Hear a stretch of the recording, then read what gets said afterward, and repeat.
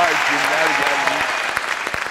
Şeref vermiş. Hoş geldin. Hoş geldin Hoş sağ olun. geldin. Hoş geldin. Şeref verdin.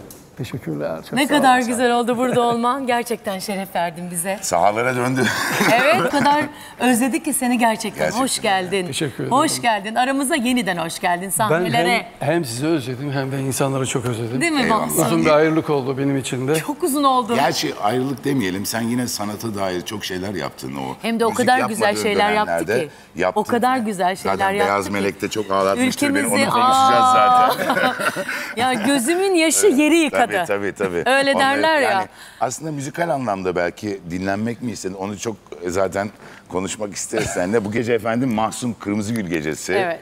Yani ilk başladığı dönemden bugüne kadar bütün hayatını insanlarla paylaşacaksın. Bildiğim kadarıyla 16, 16 yıldan yıldır beri. evet hiçbir televizyon programına Evet ya. katılmıyor. Burada olması gerçekten Bizim için hepimiz çok için büyük bir şeref.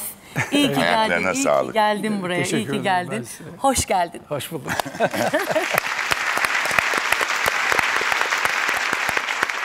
Ya zaten yıllar önce öyle bir şarkı yazmış ki. Yani ben her daim e, Allah'ın izniyle yıkılmadım şarkı. ayaktayım demiş yani. Ama tamam bütün yaptığı Bunu- bütün eserler Kesinlikle. zaten klasik damga vurmuş şarkılar. Yıllar sonra da aynı heyecanla, Kesinlikle. hüzünlenerek bazen bazı şarkılarında keyif E, alarak, eğlenerek dinlenen klasik şarkılar onlardan biri geliyor.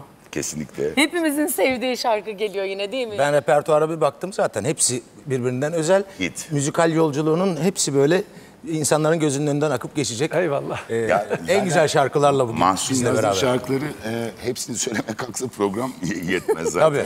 Evet. E, sadece kendine değil bir de çok değerli sanatçı dostlarına da vermiş olduğu acayip şarkılar var mesela. Hepsi hit olmuş şarkılardır. Ama biz yıkılmadım ayaktayımı Mahsun'dan dinlemiştik. Alkışlarınızla Mahsun Kırmızıgül efendi.